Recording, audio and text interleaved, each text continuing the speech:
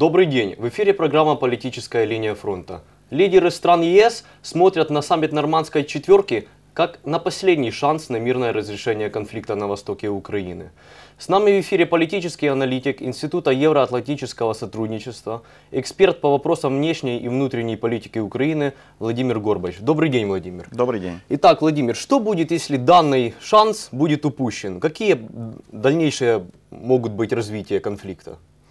Ну, так сразу начинаем пугать э, телезрителя с, с, с начала Ну почему э, же? программы. Может быть все и позитивно? Э, да, э, все-таки какая-то надежда а, а, остается, и э, переговоры сегодняшние и вчера вечером, э, которые длились всю, всю ночь, они какой-то шанс э, оставляют э, для э, урегулирования этого вопроса, для какого-то какой-то формы примирения, ну, по крайней мере, для деэскалации э, напряженности сейчас. Но э, то, что, конечно же, это был э, ну, один, может быть, из последних или последний шанс на такое развитие событий, это тоже правда. И можно сейчас на сегодняшний день констатировать, что с одной стороны Украина ушла от э, сценария вот такой возможной э, эскалации или начала полномасштабной войны. С другой стороны, российское руководство тоже э, при помощи минских переговоров э, ушло или увернулось от э, следующей как бы, волны давления на Россию со стороны Запада, в, то ли в виде экономических санкций, каких-то финансовых новых инструментов давления на российскую экономику, ну и в том числе от военно-технической помощи Соединенных Штатов Украине. Пугает ли Россию военная техническая помощь со стороны штата в Украине? Э, ну, судя по их реакции, да. То есть это однозначно э, не, не в пользу России решение. Э, они даже э, говорят, что мы вас предупреждаем, значит, это приведет к дальнейшей эскалации. Но э, все это понятно, поскольку Украине э, в ситуации такой асимметричной, асимметричного конфликта и, ну, как бы не неравноценной, неравноправной, неравносильной войны с, вот, с таким соперником и врагом, как э, э Россия, с таким агрессором, нужна, э, э, ну, нужно оружие сдерживания, нужно э, такое оружие, наличие которого э, бы э, сразу означало для агрессора неприемлемые для него э, потери.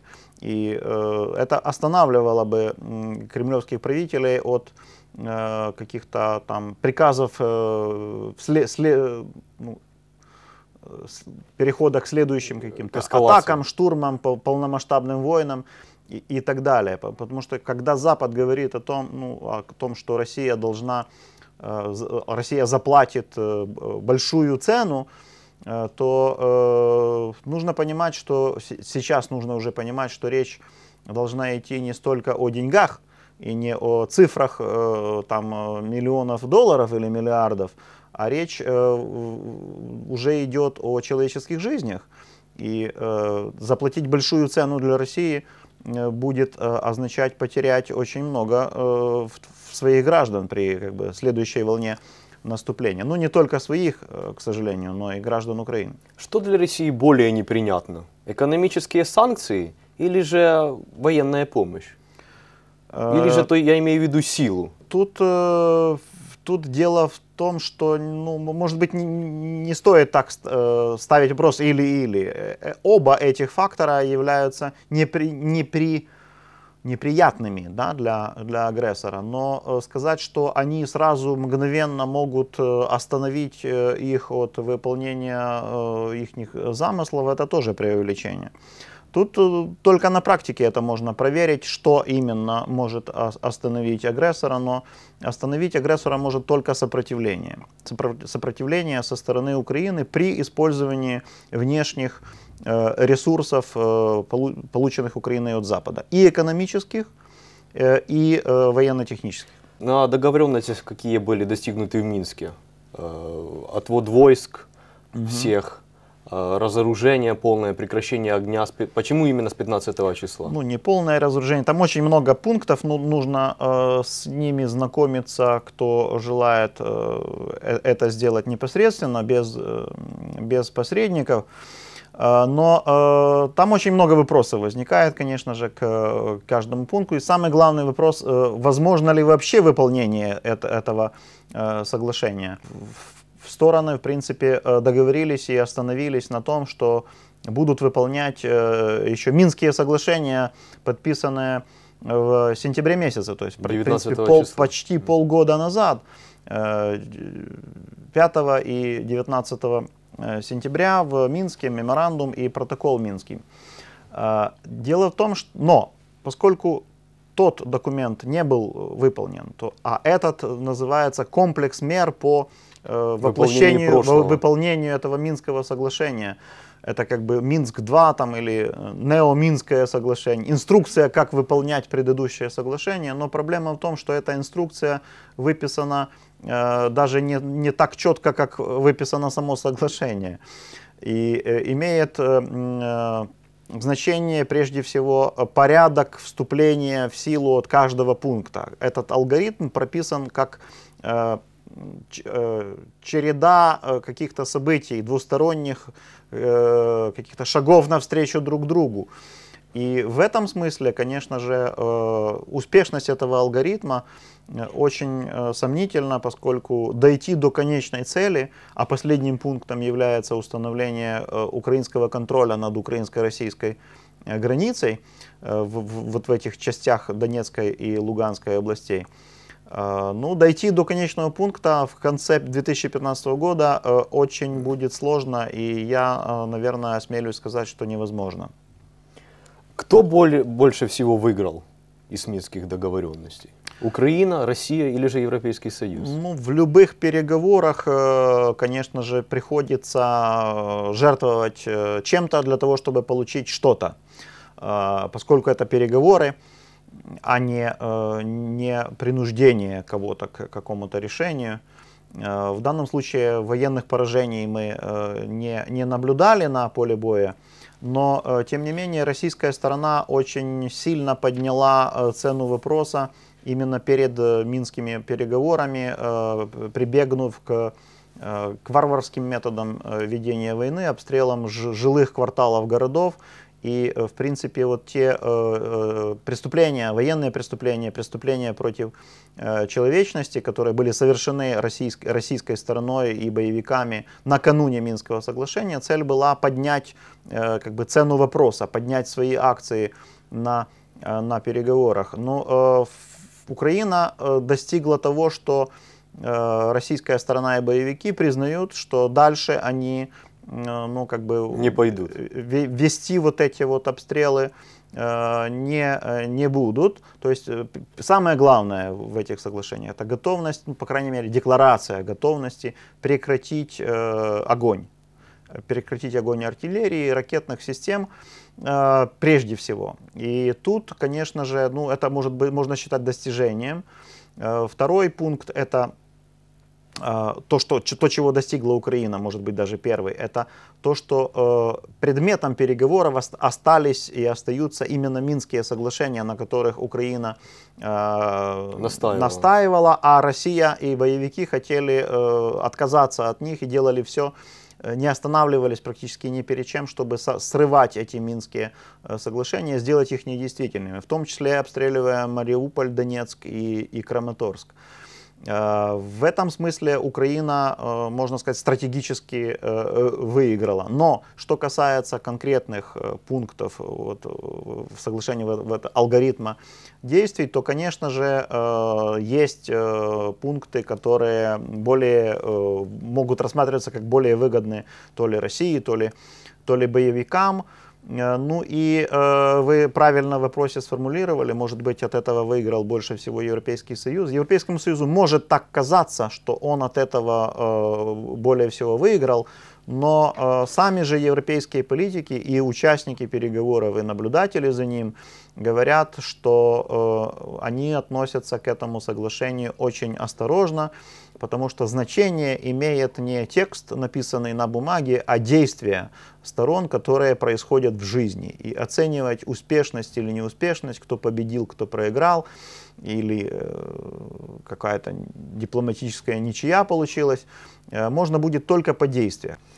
А Последний пункт этих всех договоренностей, в нем речь идет о конституционной реформе. Мгм.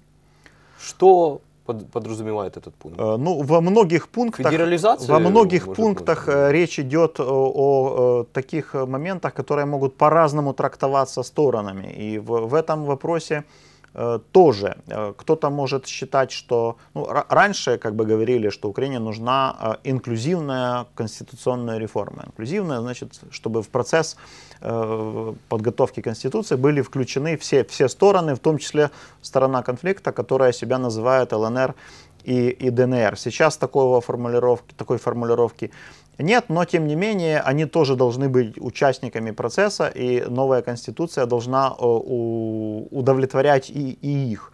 И она должна вступить в силу уже к концу этого 2015 года. Ну, э, это тоже очень как бы сомнительный пункт. э, Сомнительно, что он будет, что он будет выполнен.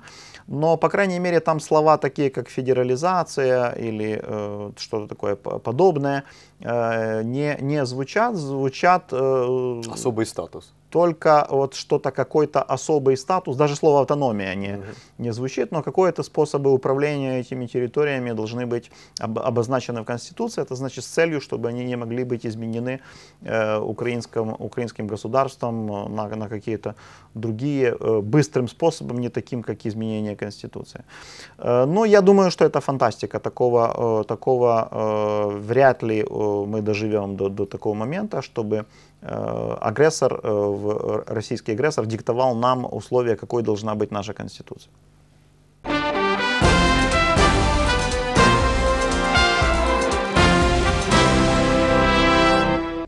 Напоминаю, с нами в эфире политический аналитик Института Евроатлантического сотрудничества, эксперт по вопросам внешней и внутренней политики Украины Владимир Горбач. Владимир, э, визит прези- президента, э, канцлера Германии Ангелы Меркель к президенту США Обаме, значит ли это, что США и Европейский Союз вместе готовы выступить против России, против России на поддержку Украины? Э, Ну, а, однозначно это свидетельство э, так называемой трансатлантического единства э, и лидера, э, э, в принципе, Европейского Союза Германию и э, Соединенные Штаты. Но тут э, надо дальше как бы смотреть, э, трактовать. Э, И даже участие Ангелы Меркель и э, Франсуа Оланда в минских переговорах, они тоже, э, тоже обозначали вот такое, э, ну, как бы, э, во-первых, единство Запада, и Соединенные Штаты всегда были в курсе тех переговоров, которые происходили, и что, какие предложения готовились. Это и, и в, э, Мюнхенская э, конференция, там это тоже проявилось и во время визита э, госсекретаря Керри в Киев. Мы об этом тоже, тоже узнали и, знали, что это все координирует. Тут единая позиция Запада вырабатывается по отношению к России прежде всего. И тут э, можно сказать, что даже что вот эта вот грубая э, российская политика и э, грубое э, попрание международного права и международных принципов, оно объединяет Запад. Оно объединяет Запад и делает э, намного более э, такими ну, как бы живыми и нужными, э, осознанными э, разные форматы этого трансатлантического единства, например, возрождая, э, ну, поскольку появилась угроза с востока э, Европы, то, э, соответственно, ответом Запада будет э, усиление НАТО и э, усиление э, в том числе военной, военной кооперации, военного сотрудничества. Э, Ну и понятное дело, что самое главное оружие западного мира в этой войне это финансово-экономические санкции. Они э, обсуждаются, они э, согла- согласовываются между э, США и Евросоюзом, и э, Запад действует э, заодно и, и сообща. И именно в этом э, состоит э, как бы стратег- его стратегическое преимущество. Ту цель, которую ставил перед собой Владимир Путин, расколоть своей агрессией, своими э, такими вот варварскими действиями в Украине, расколоть Запад на Европу и, и э, Северную Америку, он, э, не, это не получилось. И это, в принципе, стратегический просчет и стратегическая неудача, после которой э, российская оппозиция, ну, в принципе, в стратегическом тупике, они не имеют э, каких-то шансов переиграть эту ситуацию в свою пользу и будут только ждать, чтобы э, либо Украина, либо э, Запад сделали какую-то стратегическую ошибку, которая бы позволила э, России избежать э, краха, прежде всего финансово-экономического краха. Некоторые экономические эксперты говорят, что по России больше бьет падение цены на нефть, нежели санкции Европы и США. Ну, и то, и то э, работает, конечно же, но э, цена на нефть очень сильно, э, сильно меш... Э, ну, падение цен, цены на нефть очень сильно мешает э, России, в том числе вести боевые действия, поскольку э, их бюджет, и в том числе военный бюджет, он наполняется э, прежде всего э, через э, торговлю э, углеродами. И даже не столько газ, о котором мы много говорим, в украинском контексте, но и э, нефть и нефтепродукты. Конечно же, падение мировых цен на основной экспортный товар Российской Федерации подрывает э, э, российское экономическое могущество. А подрыв экономического могущества тянет за собой ну, как бы, подрыв всей системы, подрыв всей системы и социально-экономической прежде всего, но и в том числе ограничивает ресурсы которые находятся в распоряжении э, военных э, Российской Федерации. Ну, к сожалению, для нас не так быстро. Предложение, которое было озвучено Меркель и Оландом в преддверии Минских, Минской встречи, было ли оно в интересах Украины? Э, ну, вы, если вы имеете в виду визит в Киев да, визит в Киев и следующий то, в Москву, то ну, с точки зрения достижения результата э, и деэскалации э, войны на Донбассе, да, это имело э, серьезное значение для Украины. Но еще больше, более важно э, то, что какую позицию э, лидеры Германии и Франции заняли на минских переговорах.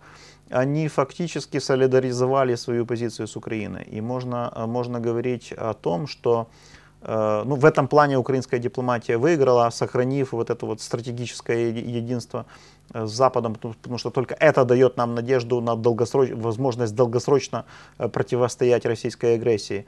Э, и можно сказать даже, что вот эти контакты между Меркель, Оландом и Порошенко, они э, являются таким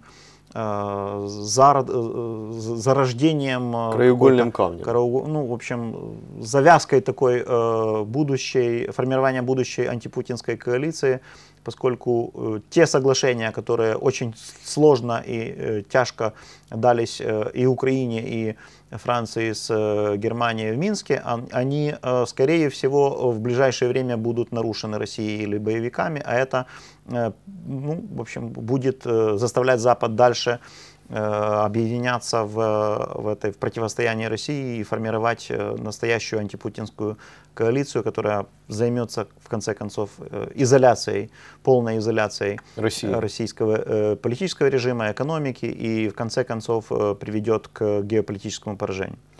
И все же, на, как записано в документе, на 15 число, на 24 часа, мы должны иметь полное прекращение огня.